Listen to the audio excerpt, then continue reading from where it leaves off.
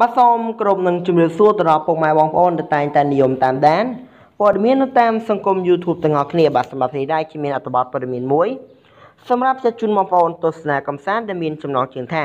ស្អាតណាស់បាទចំណាំងសឹងតែមិនបានអតីត Miss Universe Cambodia រណាតបតែងខ្លួនក្នុងឈុតបុរាណខ្មែរបង្អួតពីសម្រស់នារីខ្មែរទន់ភ្លន់តែស្វាហាប់បាទមុននឹងបងប្អូនចូលទៅតាមដានទស្សនាសូមបងប្អូនកុំភ្លេចចុច Subscribe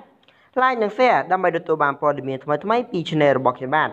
រឿងណាស្រីស្អាតអតីតបវរកញ្ញាចក្រវាលដំណើរប្រទេសកម្ពុជាដែលកំពុងមានប្រជាប្រិយភាពខ្ពស់នៅពេលបច្ចុប្បន្នក្នុងអាជីពសិល្បៈក្រៅពីជាតារាបង្ហាញម៉ូដ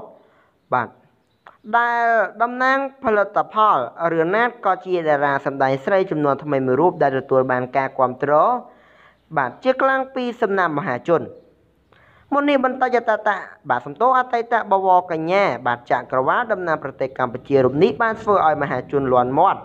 កោតសរសើរមិនដាច់ពីមាត់បាទសាជាជាបាទ